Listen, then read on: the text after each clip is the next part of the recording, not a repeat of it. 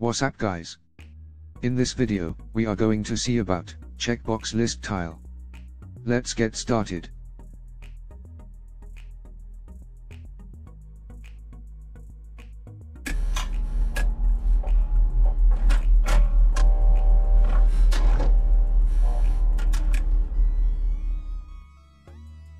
Checkbox list tile is a list tile with a checkbox. In other words, a checkbox with a label. The entire list tile is interactive. Tapping anywhere in the tile toggles the checkbox. So coming to the constructor. It has two required properties.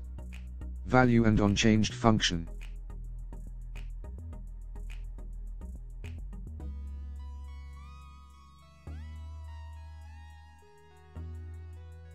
In the body of the scaffold, create a column with main axis alignment center. The children will be checkbox list tile. Set the value to false for now. And leave the onChanged, blank. Give a suitable title, subtitle, and active color.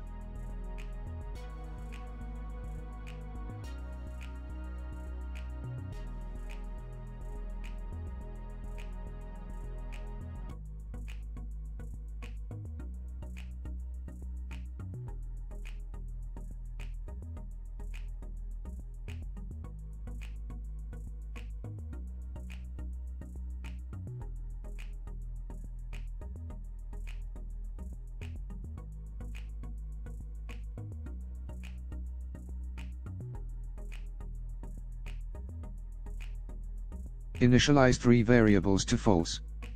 Create set state inside the onChanged. And set the val to corresponding variable.